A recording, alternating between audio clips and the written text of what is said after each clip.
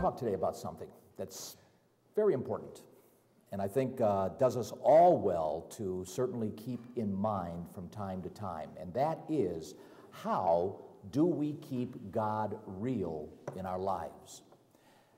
Now, uniquely enough, the Bible, the Bible is consistently one of the publishing best selling books every year. It's amazing. And yet, ironically, it's one of the least read books in addition, consistently least read books. It's consistently one of the most popular purchased books, and yet it is one of the most consistently least read books. Amazing, just amazing uh, paradox, and kind of a conundrum in, in many respects. And, and frankly, herein lies a major reason why God is not real to most people. How can you think something's going to be real to you if you don't consistently take time to learn about it, whatever it is, whatever it is? The reality of all things depends on your familiarity, does it not, with it? And, and or your interaction with it? or your, your actual touching and digesting, whatever it may be, through your five senses. And that makes it real because you're able then to see it having impact in your life. You're able to see it have influence in your life. You're able to see certain results, perhaps, in your life from it. And these are how realities impact us and actually cause change. This book, this book can cause change. It can really cause your life to change in major ways, especially if you break away from the traditional deception associated with this particular book, the Christian, Judeo Christian book, the Old and New Testament. I don't know about the Quran. I'm not that well educated in the Quran. I've read it. I do know some things, what it says. That's another story. I'm not that familiar with what the Buddhists use in terms of their holy rite or writ. But the fact of it is, talking today about this book and the true God of the universe and the true God, the Word, the one we call Yeshua, Jesus, Christos, as well as the Father, this book is all about them the angelic host, Satan the devil, it's about a lot of reality of this world that you and I are a part of that many people don't recognize because they're not familiar with the revealed knowledge, revealed knowledge that this book contains. And it is revealed knowledge. Oh, yeah, there are some things that you can definitely confirm that should add confidence to you that this book does indeed know what it's talking about because you can prove the validity and the substance of this book through fulfilled prophecy. There's a lot of history in this book. There's a lot of future history in this book, which is nothing more than prophecy. There's a lot of situation ethics and advice and laws of morality and ethics and how to manage your personality in this book. You talk about a psychology book? This book will help you keep things in simple perspective. So often today in our psychology circles, people overthink things. There is a very simple thing, or simple, in often cases, uh, techniques on how to manage your life. And it starts with, you know what? I don't mean to oversimplify it, but it starts with just doing it. Just do it. Don't get around to it, because that oftentimes that doesn't happen. You just keep missing it. You never do get around to it. Matter of fact, I had a guy give me a get get a little get around to it. I, he gave me a round to it. it's kind of a joke that he gave me because I don't know why, but nevertheless, that's what he did. And people have this in their mind that, you know, well, you never do get around to it. Well, yeah, you should. You should just get down and do it. Make a decision, get it done. And oftentimes, just getting it done takes care of all of the other stuff that oftentimes becomes just distraction, noise, and generates just unnecessary anxiety and stress that then you end up wondering, well, what's wrong with me? And that just complicates things when, in fact, if we just would do some things, uh, it certainly would help us, I think, to clear the board, as they say. But this book, not knowing it, does result in a lot of folks complicating their lives. And it does prevent people from having a real relationship with God when one does not take the time to read about God. So I want to challenge all of you today. I want to challenge all of you today. If you haven't done this, then I think it's time to do it. If you have done it, perhaps it's been a while since you did do it last. And consequently, maybe it's be a good time to do it again. but I have um, some sheets of paper, yes, I forgot to bring them up here, of which actually gives you a pace to read the Bible and complete it in one year. And that may sound like a big job to read this whole book in one year. But you can do it by reading three or four chapters a day or about 25 chapters a week. 25 chapters a week, easily you'll finish this book with no problem. So I'd like to challenge all of you. I'm going to put this up here. You guys can get them. They're um, uh, actually it's broken down into each day, going from January all the way to December 31st. Even gives you what scriptures to read, what chapters to read, and, and how to proceed down through all the books of the Bible. So if you're interested in it, uh, certainly I'd encourage all of you to uh, go ahead and, and uh, try to uh, look at that and certainly uh, take some time and develop the discipline. Develop the discipline. If nothing else, just develop the discipline of reading the Bible every day. And I know we're busy, but I guarantee if you don't take the time, it won't happen. It won't happen. It just don't happen. You have to make oftentimes conscious decisions to do this. Do you know why Jesus said, Those who enter the kingdom of God take it by force? Consider that statement. That's in your Bible. Consider that statement.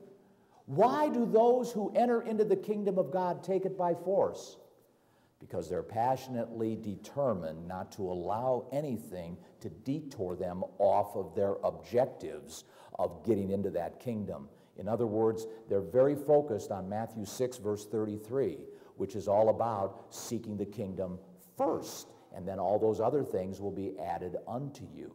So it's important, uh, certainly, that I think uh, we do take the time to familiarize ourselves with the Bible. But reading the Bible, of course, is only part of the challenge because reading the Bible for what it says is just that it's reading. If you don't know what you're reading about, and that's what oftentimes is the complaint. Well, I'm reading the Bible, but I don't understand. I can't even pronounce the names. You know, I even have trouble pronouncing some of the names uh, in, in the Bible. And why, why are they telling me all these genealogies of this guy begetting that guy and that guy begetting that guy and these people begetting them and then so forth and so on? And, and uh, oh my, I mean, the book of Chronicles is like watching paint dry, you know? and I got to read through that. But yet, brethren, there is good reason for this. And that brings me to the next uh, important point about studying your Bible is to consider the fact that you must gain understanding. You must mix understanding with your reading. Turn over here with me to uh, 2 Timothy chapter 3 for a moment. This is important because this is what the Bible does for you and for me. It states here in verse 15 of chapter 3, 2 Timothy, we read, and from a child, and Paul's writing to Timothy. Now, Paul knew Timothy. Apparently, he also knew Timothy's grandmother, Lois. And uh, he mentions uh, about her too in these uh, letters here to Timothy. But Timothy was a young man, maybe in his teens, early 20s. Most scholars will tell you he was in his late teens. Paul was mentoring him to basically be a minister and a servant, an evangelist. And uh, here he says, and that from a child, talking to Timothy, you have known the Holy Scriptures, which indicates that it's important to teach your children. It goes without saying. The Bible is very critical on that. It's very, very open about that. Teach your children when they're young, so that when they're young, if indeed they do forget, they'll always have that as a default bit of information and knowledge to hopefully at some point when they've hurt themselves enough, they'll realize they should have never left and will go back to where they came from. But, and that's, that's also proverbial in the Proverbs as well. You teach a child when they're young, and hopefully they will return when they're old in due time and in due course.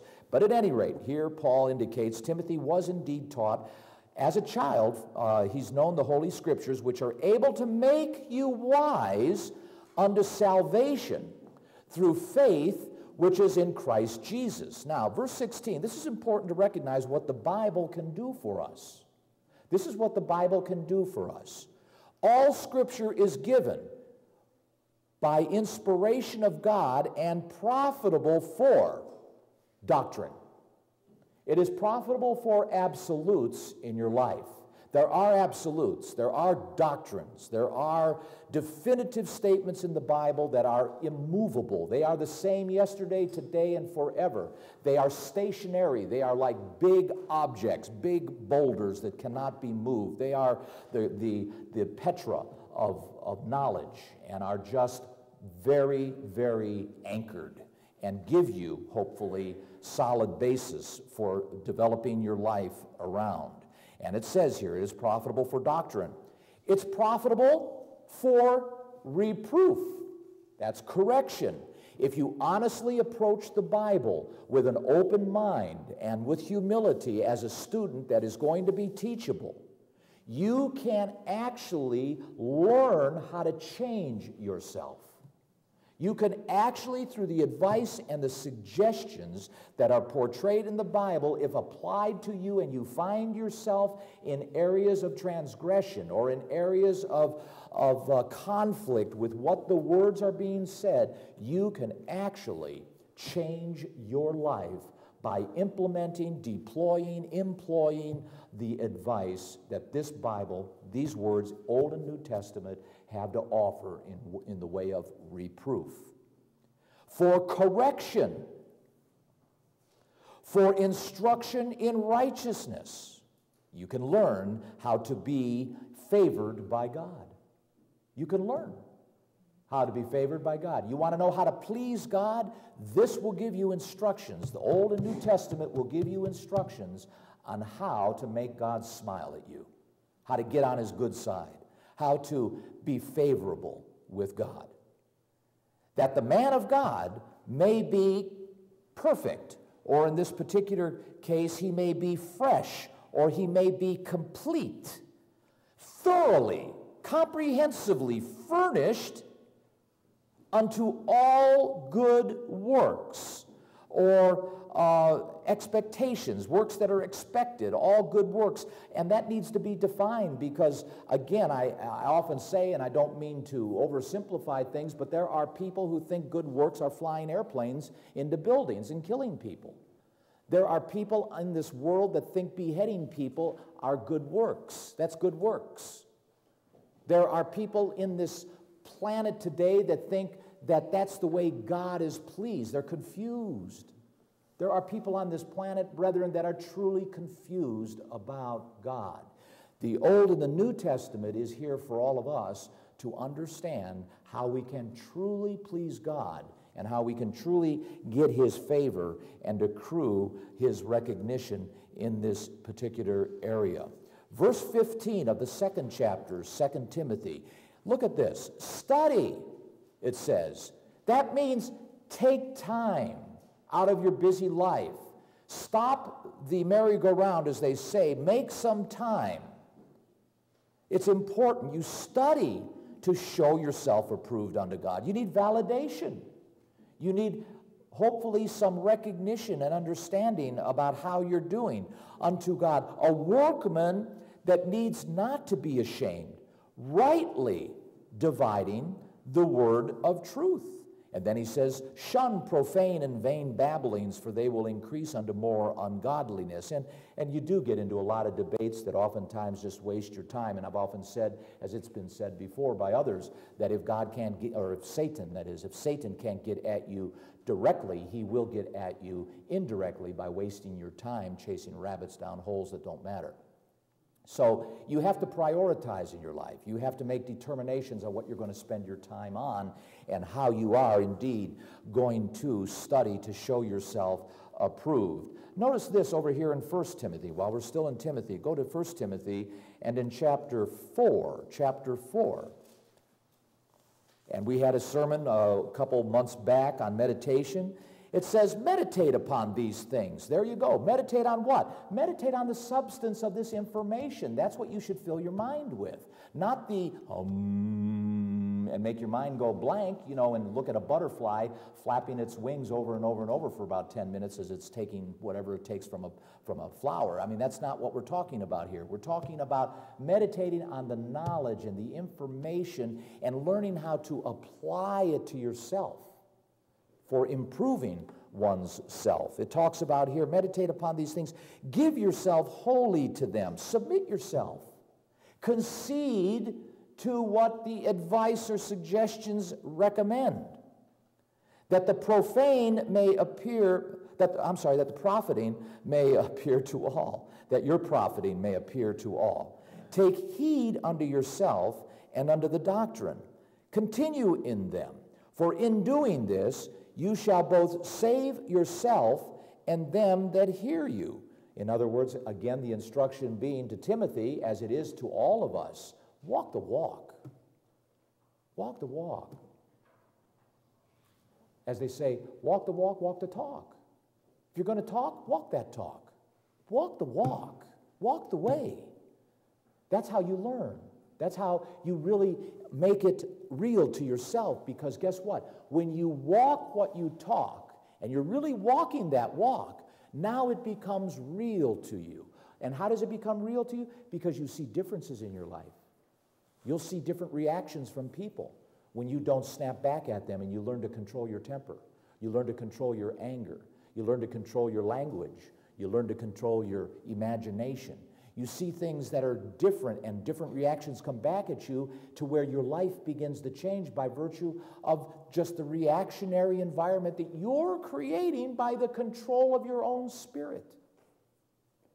Try not to raise your voice, try not to be excitable. Try to change, in some cases, the tones of your voice and how you react and how you talk. Maybe because we're so familiar with certain ones of us in our own families, we've forgotten to say how, how to say please or to say thank you. I'm one for that. I'm trying to teach myself, reteach myself. Thank you, Marge, for doing that. You know, please, can I do that? Or can you do that? Or please, shut up. Just a little levity. I don't say that to Margie. That's what she says to me. but it's important. We all begin to learn how to modify. If you don't modify behavior, brethren, and don't see the changes in your life, then you're wasting your time because Christianity is all about conversion. It's the conversion process that generates the reality. It's the really believing, the real belief in. It's the believing of realities that are in your Bible that help us all to be comforted. I was when I, went to a, a funeral this last week. The individual who died was a former serviceman, a technician that I worked with for about seven years in water treatment. He was 68 years old. It was a reality check for me. I was his boss for about seven years. Uh, taught, he taught me, and I taught him a lot about water treatment. He was one of a, a threesome that were just a, a real diamond trio in my service technician department. This guy's name was Al. Uh, there was two others that were his buddies, and they were all Amishmen. They all only had eighth grade educations. Every one of them were brought up riding a horse and buggy. And they got into water uh, treatment at, in a, um, uh, residential level. And then when I came into this company, I opened up a, um, a water purification processing, fluid processing division within that company. And I was able to take from the pool of existing service technicians from these guys. And this fella, Al, was one of those three musketeers that I took. And he died of cancer. And I knew his wife, Dorothy. I knew his wife, Dorothy. And there was, I mean, to tell you, there were hundreds of people there at the funeral when I went. And I, re- I reconnected with a lot of those guys that I hadn't seen in about 20 years. And it was good to reconnect with them. But you know, in going up there and talking to Dorothy, because she comes from a very traditional Amish background, very traditional Christian with a German flavor paradigm, which is what the Amish have. But they're very traditional, and they believe that, you know, Al hopefully is in heaven. I mean, that's basically their belief. And how I wanted to say some things to Dorothy, but I didn't. I really didn't because it wouldn't have been uh, appropriate. And I didn't really have time because there were about 50 to 60, maybe 100 people behind me. and I didn't want to take up too much of her time. But be that as it may, what you know in this, brethren, is, is so, so comforting to know the truth about loved ones who are okay, who are okay. There's nothing that you have to worry about in terms of them because they are just in line waiting for their time.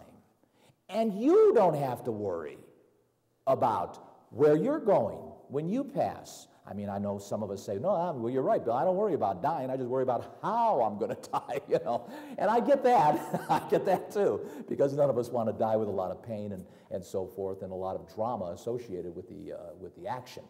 But the bottom line is, there is great comfort in knowing full well that death is nothing to fear. And your Bible tells you very clearly that's doctrinal, see? That's absolute. That doesn't change. There's no argument. There's no question about the fact when you die, you go to sleep and you wait for the resurrection. And God willing, you'll hear your voice and you will come, however it happens, bursting up out of the dirt or being remanifested into a spirit body from wherever your spirit of man was kept, and you will meet Christ in the air and land with him on the Mount of Olives. That's doctrinal. There's nothing traditional about that. Unfortunately, most of the Christian world doesn't even know that. How nice would it be to be able to sit before 5, 10, 20 million people and tell them about the kingdom of God and that Jesus Christ is really coming back to earth? It's tremendous stuff, brethren. Tremendous stuff. And I hope we're passionate about it. We should be. And it's all here. It's all here. All we've got to do is rightly divide the Word of God and allow this information to literally change us in, in the ways that, God willing, it can. Over here in Romans chapter 15, notice this. Chapter 15, whatsoever things, verse 4, in chapter 15, book of Romans, for whatsoever things were written aforetime were written for our learning that we, through patience and comfort of the Scriptures, might have hope. Now, the God of patience and consolation grant you to be like minded, one toward another according to Christ Jesus, that you may, with one mind and one mouth, glorify God, even the Father of our Lord Jesus Christ. Why is it important to study your Bible? So that we all can come to a common belief of what's in here. If you don't study your Bible, you'll be subjected to your own imagination and begin to drift into areas that are not so much necessarily in your Bible because you have, as I have, a tendency that if we're not connected to this information, to afford our imaginations to run wild with us.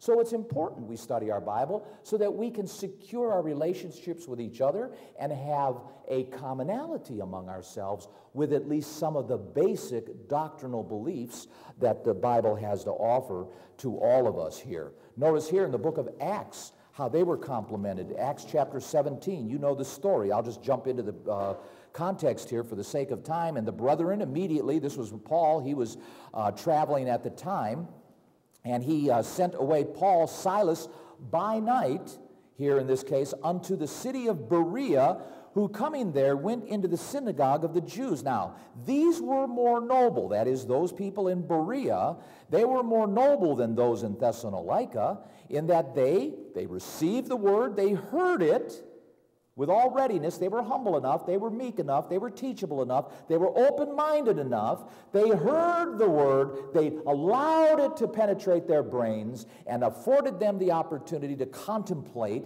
and to comprehend the information, the knowledge, and the concepts that were being advanced. They received the word with all readiness of mind, but notice this and searched the scriptures weekly, monthly daily. Daily. They searched the scriptures daily, whether those things were so. Therefore, many of them believed, also of honorable women, which were Greeks, and of men, not a few. But when the Jews, then the story continues. So the point of it is, as a result of searching the scriptures and confirming the fact that these things were indeed true of what they were being told by the apostles, in this particular case it was Paul, they confirming that then allowed themselves to believe these things. And the conviction is, of course, and it comes far more with more meaning and more impact if you yourself come to grips with believing these things by virtue of your confirmation of the information you receive. And that's why, uh, and, I, and I certainly uh, hope it will never change, the Church of God International is a very biblically based church of God. We do the best we can to stay connected and to stay in line with Scripture so that what we say is supported with Scripture and actually even take the time, and I hope that you would, would see and recognize and appreciate the fact that in most cases, every speaker that comes before you, at least in the Church of God International, I can speak for, will usually be using Scripture to prove what they're advancing so that you can be searching the Scriptures right along with the speaker as he goes through some of the things that he does indeed advance and say. And that's important. But it is also important for you to expand on those things. So, searching the scriptures is very important. It's very important, brethren, that you take the time to also challenge yourself. And I want to encourage all of you. There's been a lot of work and a lot of time, a lot of effort, a lot of hours put into the development of our website. There are topics and subjects on that website that uh, many of you perhaps have not explored because there are so many uh, documents there now booklets, pamphlets, reprint articles on everything from soup to nuts. I mean, there is a wide variety of all kinds of topics and subjects there for your reading, for your study, for your investigation, for challenging you to maybe change a belief on something or to modify a belief on something. And I encourage you to go ahead on the website. Get the Home Bible Study Course, for instance. There's 15, I think, lessons there of the Home Bible Study Course. It goes from repentance, then it goes through uh, the holy days there. It is um, uh, kind of, um, yeah, it starts with repentance, it goes with faith and baptism, the laying on of hands, the resurrection, e- uh, understanding the eternal judgment, which is basically, you know, where we got these from Hebrews chapter 6. These are the foundational doctrines of the church. Turn with me for a moment. Look it over here. Hebrews chapter 6, just so that you know, these are, these are fundamentals that all of us need to be rooted in. Because what Paul's saying here in chapter 6 that he wants to now leave the principles of these doctrines. Let us go on to perfection, not laying again the foundation of uh, laying on of hands and repentance from dead works and faith toward God and the doctrine of baptisms, the resurrection of the dead, eternal. He's not saying we're going to forget this and do away with it. No, no, no, no. He's talking about, look, I assume you already know about that.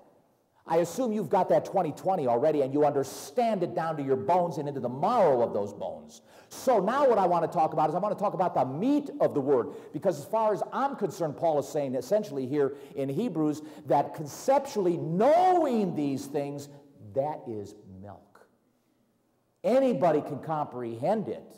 Anybody can understand it intellectually. My dad understood some of these things intellectually. I would sit down and talk to him, and he'd say, Well, Billy, that's pretty interesting, you know. And that's about as far as he would go. Because guess what? He wasn't ready for the meat. And what was the meat? Actually adopting, actually embracing the information so that my life would change in the process that we call conversion. See, that's the meat of the word. That's where Paul's going with this. He wants now us to start incorporating, inculcating, and taking it into where it actually transforms us into something new. That's what it's all about. That's what this book is all about. It's not about magic, it's about God's Holy Spirit. Literally, if you're baptized and have had hands laid on you, if you're baptized and have hands laid on you, that you've got God's Holy Spirit, you've got a changing empowerment in you that if you would allow and engage it for the changes it offers you, can actually achieve changes. Actually, make yourself different than what you were a month, two months, three months ago. Then it goes into uh, Sabbath, Passover, Feast of Unleavened Bread, Understanding Day of Pentecost. But it's all there on the website, study course. 15 lessons that you can go through one at a time, once a month. Our mappers, uh, the guys that are in the Ministerial Apprentice Program, the MAP program, they go through one lesson a month, and then we talk about it, we evaluate it, we go through. There's a test at the end of them as well to learn the knowledge of this information so that you can embrace it as part of your lifestyle and as part of the things that do, in fact, transform your mind. Now, in order to get this done, and I, and I get the fact that we've got iPhones today. I get the fact that, you know, you probably have Bibles, maybe more than one Bible on your iPhone. I've got the whole Strong's Concordance on my Bible, and I use it quite regularly. As a matter of fact, I've gotten accustomed to using it rather than my old uh, concordance, the, uh, hard, the hard-covered uh, Strong's Concordance. It's fallen apart anyway, but uh, it's quicker. I can get to things faster and uh, certainly look up words. I can even be sitting there in the audience, and if I use a Greek word, I can check you out and make sure I can go right to that Strong's Concordance and see if that you know guy is using the right word, the great Greek word, and giving me the right meaning because it'll come up right on my on my iPhone. And I get that. However, what I'm talking about is study time. I'm talking about really taking time out and having some study time. You need a Bible. You need a Bible. You should have a Bible. You really should. And you should have a Bible to the point where it's personalized for you. In other words, don't be afraid to mark it up, color it, emphasize, underline it. Take time. Develop a system. You know, some people, uh, they, uh, I, I, wrote down here one, one system is green, which is about Christian living. You highlight green, Christian living. See, I've got, I've got certain ones highlighted in my Bible. I've got colors in my Bible. Uh, some have used uh, red as prophecy, blue, the kingdom of God, uh, orange is the devil, yellow. So if I go to that, I know what I'm, I'm into, if I can remember my color codes. I know I'm going to talk about Christian living. You know, red is prophecy. I know I'm, this is a prophetic. And uh, so I know where I'm, I'm, heading in that regard, and I get myself uh, kind of squared up on that. But this book, my, my Bible, is a workbook. It's a workbook. I've had it for now some 40 some years, and this Bible's been with me. When I take this Bible, the first thing I do is I put it in my briefcase and hide it when it's all done because I don't want anybody get, dumping coffee on it, uh, ripping the pages out of it because it's already seen better days, and I've had it already uh, rebound. But this is my Bible, and it's personal. It's my workbook. Wherever it goes, I've often said, if my house burns down, this is what I'm going for. this is what I'm going for because it's, uh, it means a lot. We should personalize, have a relationship with God's Word. Now, this is physical, of course, and if it did burn up, so be it, I'd have to deal with it. But my point is the, the fact that we've got a relationship with God's Word, that's important. You got to have a relationship with God's Word. You got to love the information, brethren, and you should love the container the information is in and make it custom designed for you. Take a personal interest in it. Get yourself a Bible. Get yourself a good Bible. And um, if you can find one that um, is is uh, helpful in uh, your study time where it's easy to, uh, to read. Now, of course, if it's a study Bible and you want to use concordances, because that's where I'm going next, you need to get yourself some Bible aids. You need to get perhaps a Strong's Concordance. Maybe a Bible dictionary. A good one is Unger's, U N G E R S. Unger's Bible Dictionary. You want to know who's who in the Bible? Get an Unger's Bible Dictionary. So then that way, when you're reading and you find out you're reading about a guy named Boaz, well, who's Boaz? Well, look it up first in Unger's Bible Dictionary. Read the little um, smidgen of information they have on Boaz to get the information in the background. And now you've got it. So now you're reading, now you've got meaning. You know, who was Methuselah? Look it up in Unger's Bible Dictionary. Who's Methuselah? And get a framing, get some context to some of the stories that you're reading. The Bible Dictionary will help you do that. Concordance, as many of you know, is the Greek and the Hebrew, and it affords you, being not knowing those languages, uh, to, to be able to understand where that English translation came from, and if it's in the Old Testament, the Hebrew, and if it's in the New Testament, the Greek, be able to identify what words were used and arrive at the proper meaning so that in case the translators made a mistake or a misnomer or are misdirecting you in a direction of a word that they use that means something different, like nephesh, does not mean immortal soul. It just means air breathing creature. Hell Hades doesn't mean a place where there's eternal torment going on, as you're led to believe in traditional Christianity. It means hole in the ground, it means grave. Hades, that's, you know, Sheol in the, in the Hebrew is, is a hole in the ground, it's, it's the grave. So these are important items that all of us, I think, need to uh, consider. Get yourself some additional Bibles.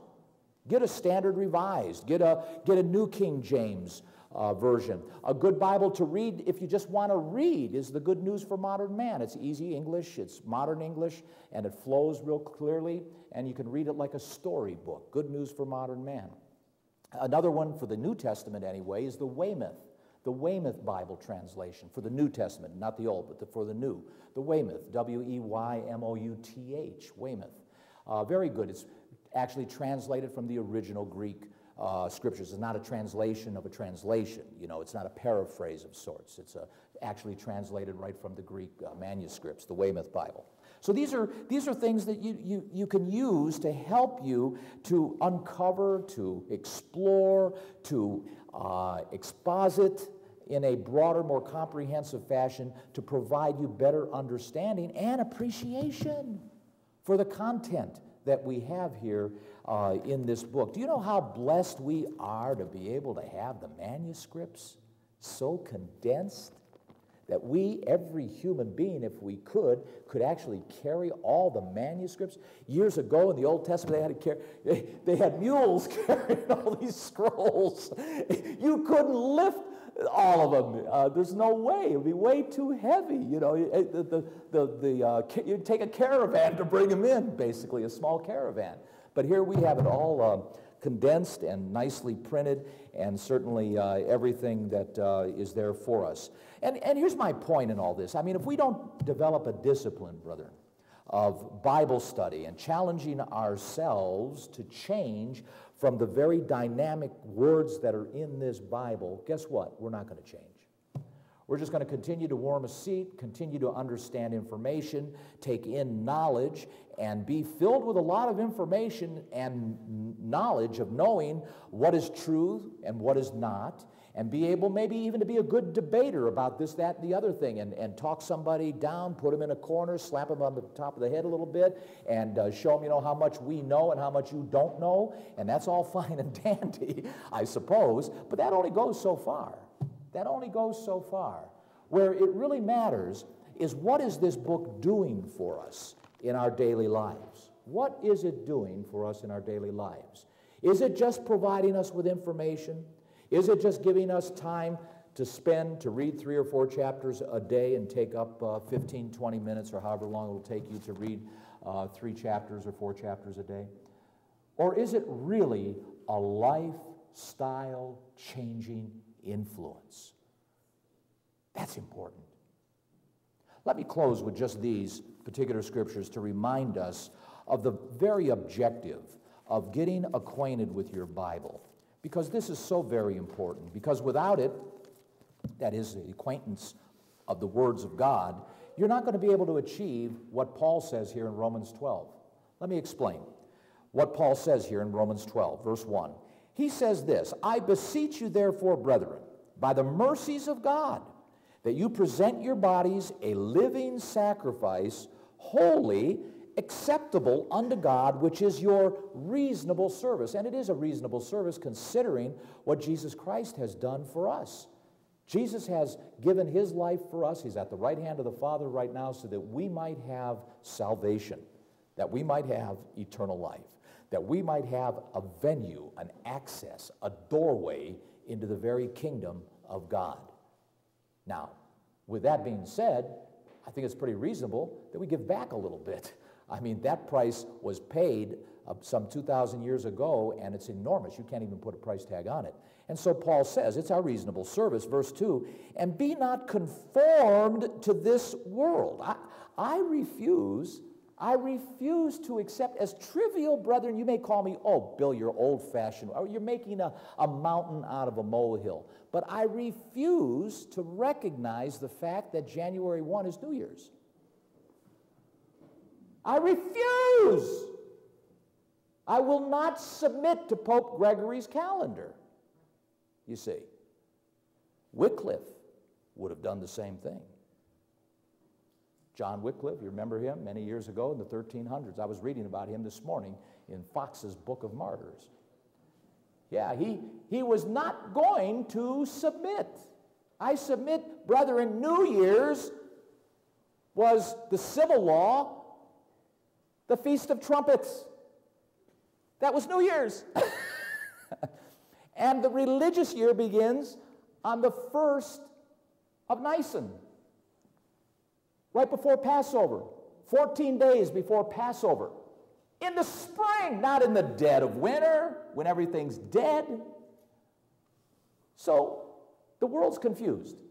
The world is definitely confused. And why is it confused? Because we all conformed to it. We've all conformed to it. We need to stand apart from it. You are Christians, brethren, of another of another citizenship.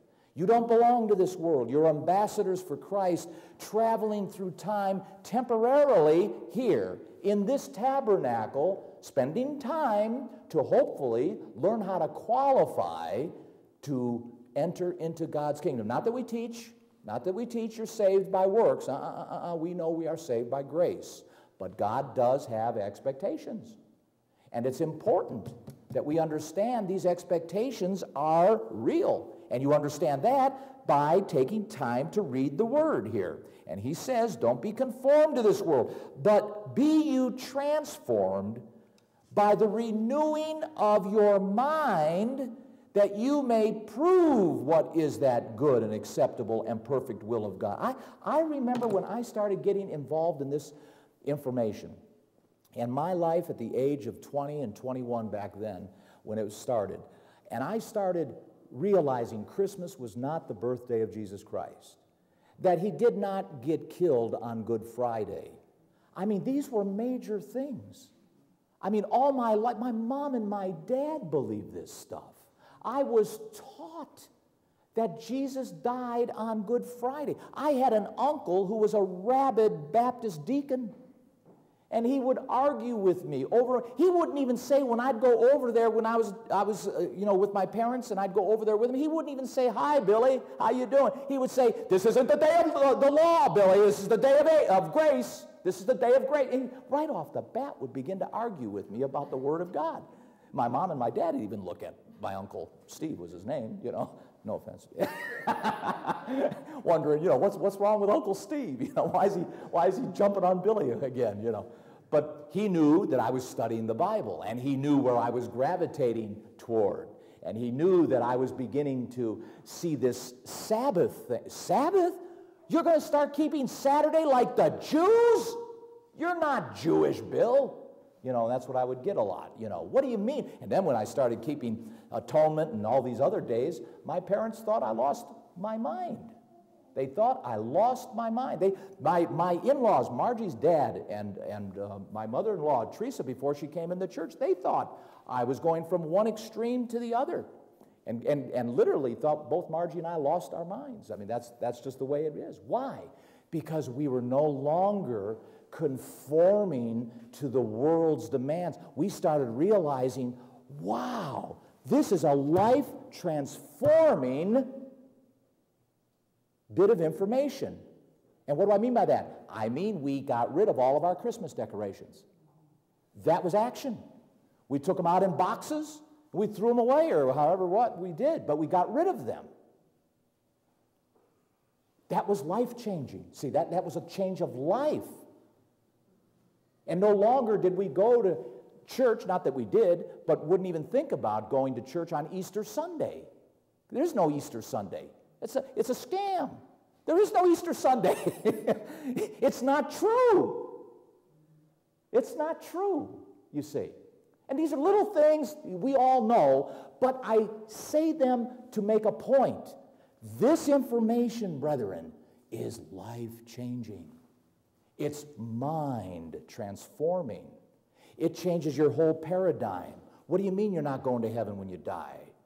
What do you mean my dad, who never accepted Jesus Christ, is not burning in hell right now with demons surrounding him, stabbing him with pitchforks, and poking his eyes out? And I could get really gruesome here. But you know how, do you know how happy I am to know that my dad and my mom, who never accepted Jesus Christ, and I'd be only fooling myself to think so, are okay. They're sleeping. They're just sound asleep, waiting for their time. And their time, I'm told, is coming. It's coming. I'm even told when. And I'll know when that time because I hope, God willing, I'll be a spirit being. And that day, as all of us who would be spirit beings will know, we're approaching the end of the millennium when the rest of the dead will be raised. And I'm going to be right there in the box seat waiting. Hey, where, where's my mom and my dad coming up? You know, how, where should I go? And I'm sure we'll be told. Just stand put, you know. We'll, we'll bring them to you, you know, or however, however it happens. I don't know. I'm not going to worry about that. All I know is that's happening. And it happens because we've been told it's going to happen. That is doctrine. That's absolute.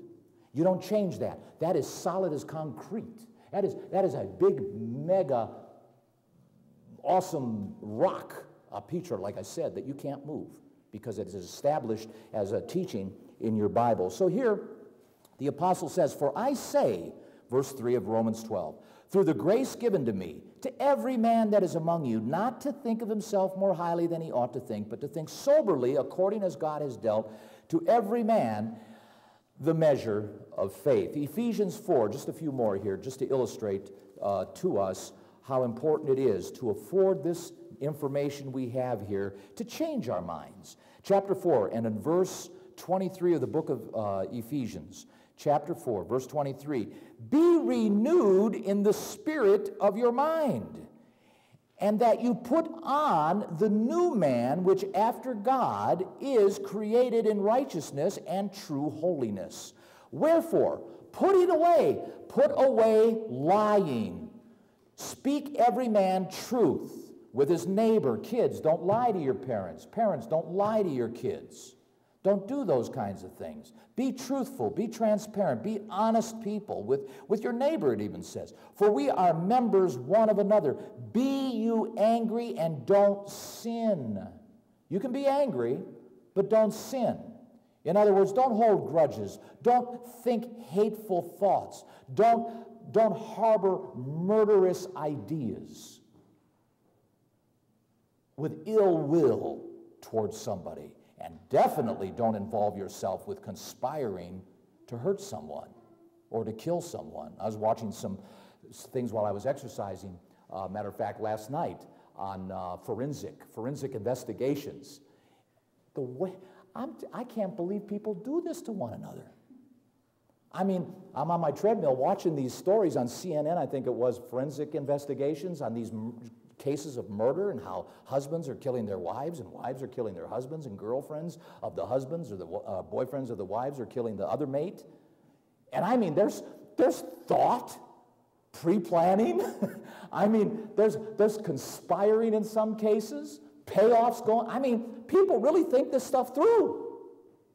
Amazing to think what they could do if they were just doing good things with that kind of energy and uh, thought processing. But we go on here. He, he, uh, he says, Be you angry, don't sin not. Let not the sun go down upon your wrath. In other words, don't hold grudges. Don't hold grudges. And literally, if you can, solve your arguments before you go to sleep. But certainly don't hold grudges. You know, you get an argument with your wife or your husband, and then all of a sudden they bring up something 20 years ago. Well, you've always thought that because you remember when you did. No, I thought we apologized for that, you know. and here they're bringing it back up and throwing it back in, in each other's face. Neither give place to the devil. Let him that stole steal no more, but rather let him labor, working with his hands the thing which is good, that he may have to give to him that needs. And that's an interesting principle. Did you see the principle there? You should work so that you can gain and acquire to be able to give. Not so that you can continue to consume and be the old greedy curmudgeon that so many people are, but that you should be able to acquire and consume so that you can give so that you can share. That's the objective behind the acquisition of riches and wealth.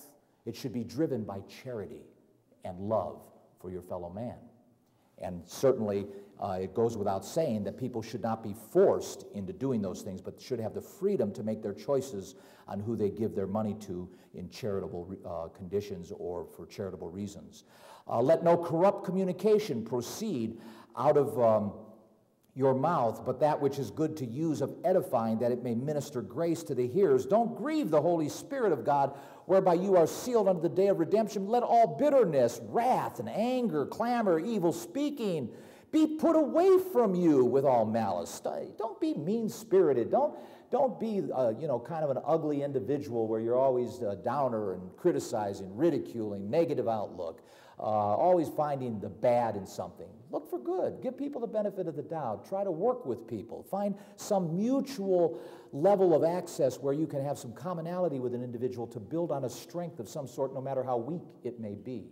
Those are important aspects and, and uh, traits to look for as you interact with people. Let all bitterness and wrath and anger and clamor uh, be done away with. Verse 32 And be kind one to another, tenderhearted forgiving one another, even as God, for Christ's sake, has forgiven you. And one last closing uh, section over here in the book of Colossians, chapter 3, very important chapter. I think one of my favorite chapters in the whole Bible here, because it's really um, a very uh, motivating and objective oriented chapter. Chapter 3 If you then be risen with Christ, seek those things which are above. In other words, set your goals high.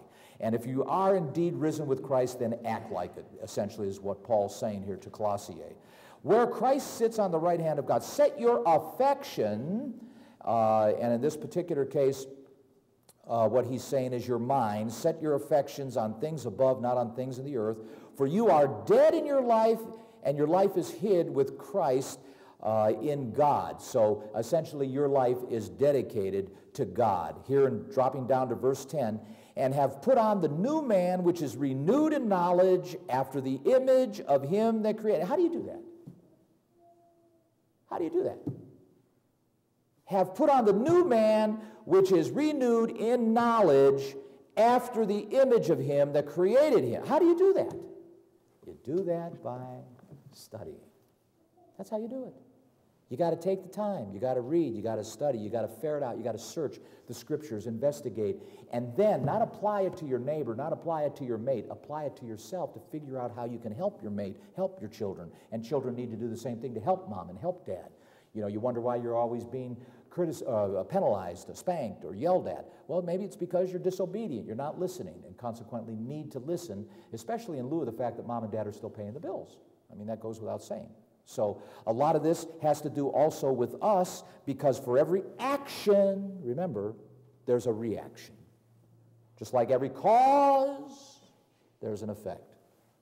So keep that in mind. For every action, there is a reaction. Verse 11, chapter 3, Colossians, where there is neither Greek nor Jew, circumcision, barbarian, uh, free, Christ all, in all, put on therefore as the elect of God, verse 12, and beloved bowels of mercy, kindness, humbleness of mind, meekness, long suffering forbearing one another, forgiving one another. If any man have a quarrel against any, even as Christ forgave you, so also do you. And above all these things, put on active love. That's what charity means. active love. Charity, which is the bond of completeness, because there now you're putting your actions where your words are. You're actually following through and doing something that manifests the principle by which you just read that encouraged you to do something. So, brethren, take time. We've done a Bible, uh, we've done a presentation on fasting. We've done a presentation on meditation. We've done a presentation on Bible study. Take a sheet, challenge yourself. Read the Bible. Get it done by December 31st. I may even ask for a hand raising on who completed it. but take your time through it. Three to four chapters a day for the remaining uh, days of the year. Today's what? January 3rd. So we got, um, we've got 10 chapters to pick up on. and you got the whole afternoon. So what else do you have to do, right? It's the Sabbath day. But go ahead, take that challenge and also mix it up with taking some time to spend some time understanding what you're reading. Get that Unger's dictionary because you're going to come up on names you're not going to know who they are. The Unger's Bible Dictionary will add color, context, insight, and help in getting you acquainted with the players and all those involved in the Bible that you're going to become acquainted with as you begin to embark on your adventure of reading the Bible.